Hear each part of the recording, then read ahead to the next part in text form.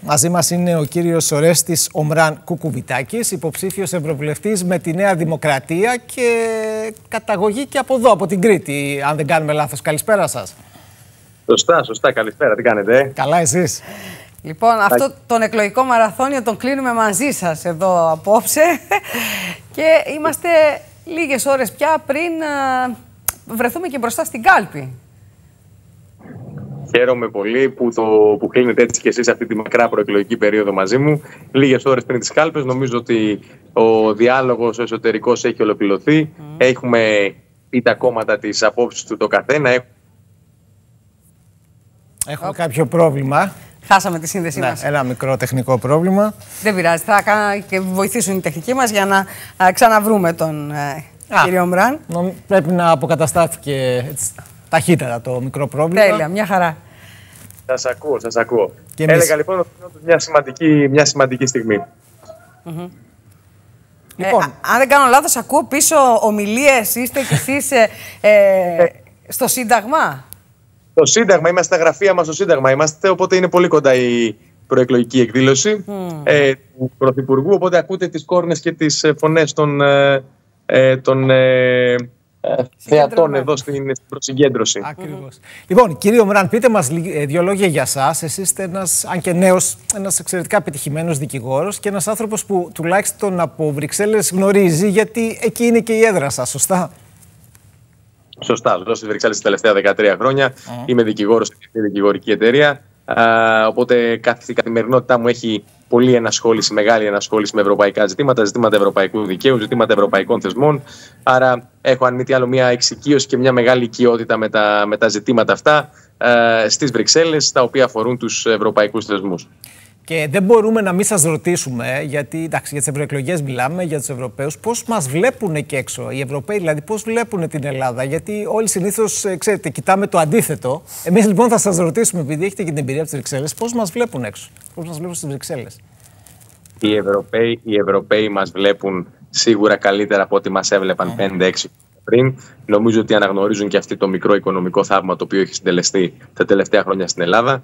Με, τις, ε, αν θέλετε, ε, με την τελείως τη, τη μεγάλη αναδιάταξη της ελληνικής οικονομίας, με την ανάπτυξη η οποία αυξάνεται σε βαθμούς αν θέλετε, σε βαθμό υπερπολαπλάσιο αυτών, αυτού των άλλων ευρω, των ευρωπαϊκών κρατών μελών και σίγουρα με την, αν θέλετε, έτσι πολύ μεγάλη προσαρμογή την οποία η Ελλάδα μετά από μια πολύ δύσκολη περίοδο, μια μνημονιακή περίοδο μακρά, κατάφερε να πετύχει ε, με αποτέλεσμα τώρα να έχει έρθει η περίοδος της ανάπτυξης και να, και να βλέπουν τη χώρα μας με ένα τελείως διαφορετικό μάτι και από μια τελείως διαφορετική σκοπιά σε σχέση με το παρελθόν. Έχουμε μεγαλύτερη αξιοπιστία, μεγαλύτερη αποτελεσματικότητα και σίγουρα καλύτερη φήμη. Την ίδια ώρα βεβαίως στο εσωτερικό της χώρας υπάρχει ακρίβεια, υπάρχει πληθωρισμός, υπάρχει πρόβλημα ενεργειακό, οι πολίτες δυσκολεύονται και υπάρχουν και ανοιχτά ζητήματα σε ό,τι αφορά την υγεία. Έτσι δεν είναι; Σαφέστατα, σαφέστατα, σαφέστατα. Υπάρχουν πολλά ζητήματα τα οποία απασχολούν τους συμπολίτες μας, τόσο σε εθνικό όσο και σε ευρωπαϊκό επίπεδο. Σωστά λέτε για το ζήτημα της ακρίβειας, σωστά λέτε για το ζήτημα της υγείας, το ζήτημα της παιδείας, μια σειρά από σημαντικά ζητήματα. Ε, και τα οποία δεν είναι μόνο εθνικής φύσεως, είναι ευρωπαϊκής φύσεως, διότι ξέρετε, χτυπούν στο, στον πυρήνα των ευρωπαϊκών ετοιμάτων για μια Ευρώπη ενιαία, μια Ευρώπη δικαιότερη, μια Ευρώπη με περισσότερες, αν θέλετε, με περισσότερη αλληλεγγύη μεταξύ των λαών. Είναι κάποιο... επεισοδιακή η σύνδεση μας. Η τελευταία μας Ναι, προφανώς ε, χτυπά το τηλέφωνό του και, και, και γι' αυτό. Προφανώς χτυπάει το τηλέφωνό του και γι' αυτό χάνουμε τη σύνδεση ανατακτά χρονικά διαστήματα. Γιατί όπως καταλαβαίνετε είναι στο δρόμο. Οπότε συνδεόμαστε ναι. κάπως μάλλον μέσω Viber. Ε, ναι, αυτό όπου σε αυτές τις περιπτώσεις η τεχνολογία λίγο μας μας διαψεύδει. Ε; Λοιπόν, Εντάξει, είναι σύμμαχος μας τεχνολογία. Νομίζω τον έχουμε ξανά τον κύριο Μραν. Πρέπει να με βλέπετε όμως τώρα. Εγώ σας βλέπω, ναι, σας ακούω. Ναι, σας βεβαίως, βεβαίως.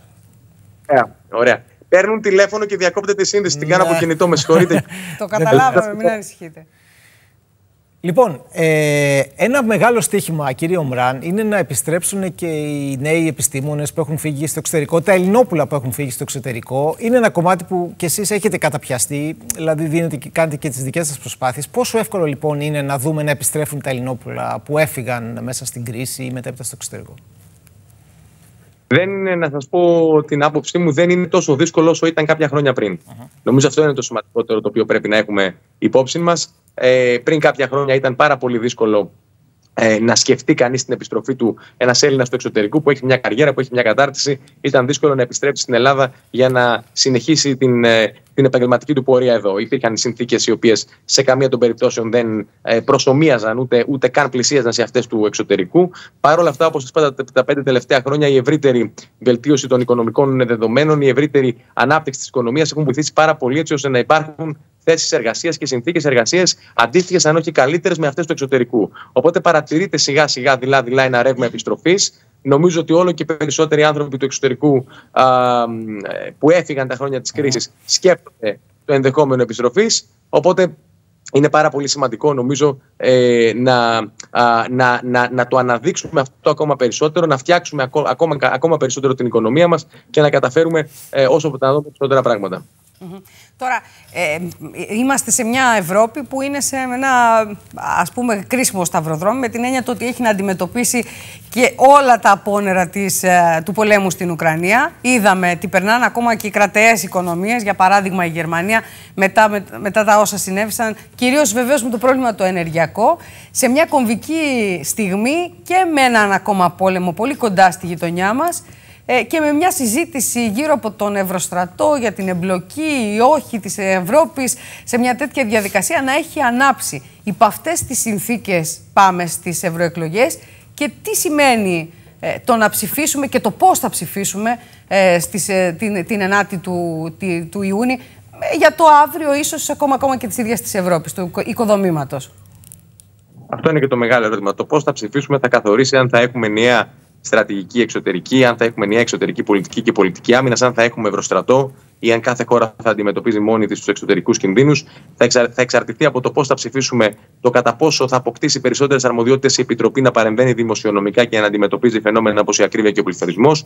Θα εξαρτηθεί αν θα πετύχουμε συνολικά και συλλογικά την ενεργειακή μετάβαση, τη μετάβαση δηλαδή από το πετρέλαιο και το φυσικό αέριο στο, σε καθαρότερες μορφές ενέργειας. Άρα, συνολικά, ε, εάν τα βάλουμε όλα αυτά σε μία, σε μία σειρά. Νομίζω ότι το ερώτημα το οποίο θα κληθούν να απαντήσουν οι ψηφοφόροι είναι αν θέλουμε περισσότερη ή λιγότερη Ευρώπη, mm. αν θέλουμε ενιαία Ευρώπη ή διασπασμένη Ευρώπη, αν θέλουμε μια Ευρώπη που οι λαοί συνεργάζονται και οι κυβερνήσεις συνεργάζονται ε, και ομονοούν ότι μόνο συλλογικά μπορούμε να ξεπεράσουμε τα προβλήματά της, mm. ή μια Ευρώπη η οποία είναι ε, απομακρυσμένη, είναι μια Ευρώπη η οποία ε, κοιτάει περισσότερο, αν θέλετε, τους εθνικούς, ε, τις εθνικές ε, προτεραιότητες πολιτικές των κρατών μελών. Άρα ε, αυτό είναι το δίλημα και νομίζω ότι ε,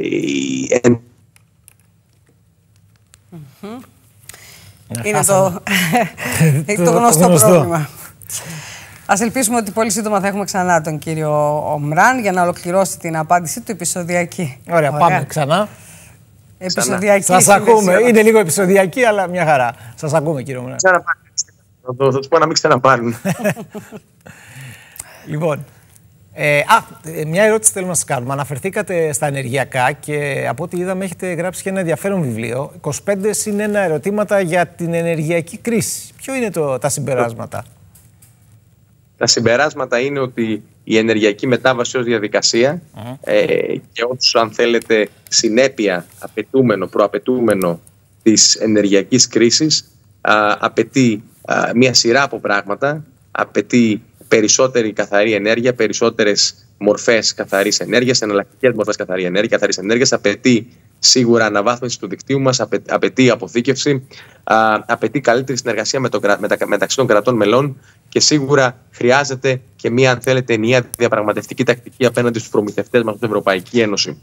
Ε, φυσικά, ε, το πώς θα εκμεταλλευτούμε γεωστρατηγικά το ρόλο μας ως Ευρωπαϊκή Ένωση και ειδικά κάποια τμήματά μας τα οποία αποτελούν ουσιαστικά το συνδετικό κρίκο μεταξύ Αφρικής και Ευρώπης και, και Μέσης Ανατολής και Ευρώπης, σε αυτά είναι και η χώρα μας, το πώς θα καταστήσουμε τα σημεία αυτά της Ευρώπης σε ενεργειακούς κόμβους, έτσι ώστε να υποφελούμεθα από τη ροή ενέργειας από την Ανατολή προς τη Δύση, τους νέους δηλαδή δρόμους ενέργειας, είναι νομίζω κάτι πολύ σημαντικό το οποίο επίσης θα βοηθήσει στο να παταχθεί η ενεργειακή κρίση, αν μη τι άλλο να μην ε, και εμφανιστεί διαφορετικά η ενεργειακή κρίση ε, στο πλαίσιο αυτό. Οπότε νομίζω ότι ε, βγάλαμε και άλλα συμπέρασματα φυσικά, αλλά νομίζω ότι το πλαίσιο αυτό περιγράφει λίγο τα διακυβεύματα της της επόμενης ημέρας στην ενεργειακή κρίση.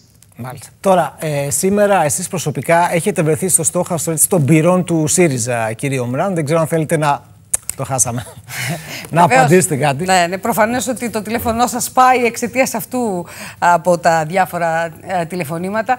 Η δική μας η απόφαση εδώ ήταν να μιλήσουμε καθαρά για ευρωεκλογές και όχι να εμπλακούμε στο, στη συζήτηση για τα ε, εγχώρια πολιτική, την εγχώρια πολιτική συζήτηση. Γι' αυτό άλλωστε δεν έχουμε σταθεί πάνω σε ζητήματα όπως ξέρω εγώ τα πόθεν και τα λοιπά. Ωστόσο, επειδή είμαστε λίγες ώρες μετά α, από όλο αυτό το συμβάν, δεν ξέρω αν θα θέλατε κλείνοντας να κάνετε μια τοποθέτηση ενδεχόμενα εσείς; Ναι, να δώσετε μια απάντηση, γιατί mm-hmm. βρεθήκατε στο στόχαστρο του ΣΥΡΙΖΑ.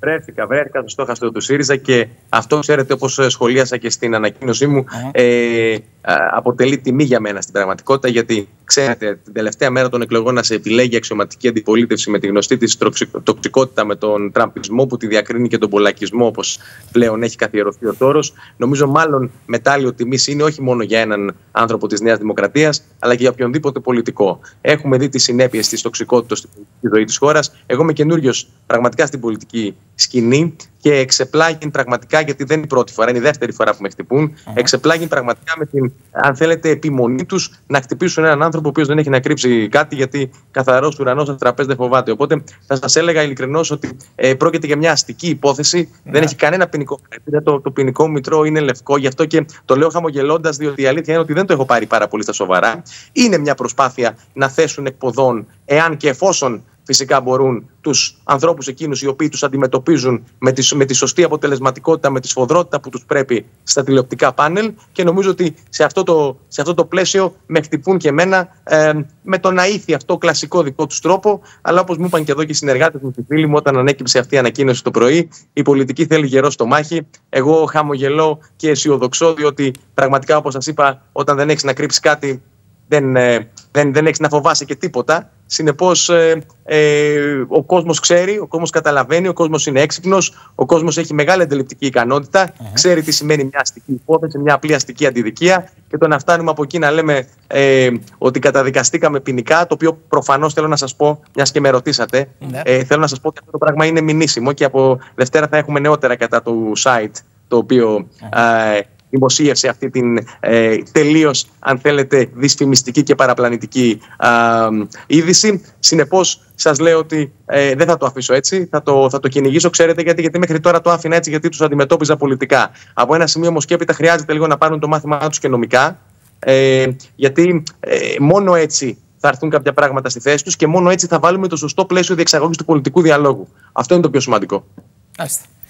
Σας ευχόμαστε καλή επιτυχία λοιπόν. Λίγες ώρες απέμειναν σε αυτόν τον αγώνα. Ελπίζουμε να δικαιωθείτε και βεβαίως την επόμενη μέρα να ξεκουραστείτε, γιατί φαντάζομαι ότι και ο δικός σας μαραθώνιος ήταν τεράστιος. Να είστε καλά. Καλή ψήφο σε όλους. Εμένα με βρίσκουν στη Νέα, στη Νέα Δημοκρατία προφανώς στο όμικρον και όχι στο κουκουβιτάκι, στο Μραν κουκουβιτάκι. και τα δύο. Ναι, ναι, ο Μραν. Οπότε ε, το, το επισημένο γιατί με ρωτάει πολλοί κόσμο. Σας χαιρετώ και Καλή ψήφο σε όλους και καλή εκλογική διαδικασία. Καλή επιτυχία, να είστε καλά.